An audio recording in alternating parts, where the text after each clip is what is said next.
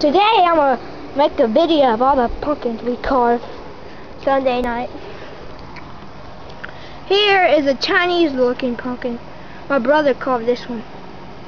Now that looks weird. Cool Chinese eyes.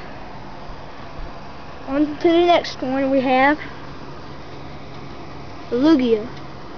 I carved this one. I do not know what it is. His new name is Lugia.